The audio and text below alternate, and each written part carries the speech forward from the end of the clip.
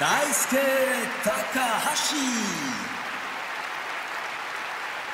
Bronzemedaillengewinner bei den Olympischen Spielen und Weltmeister 2010.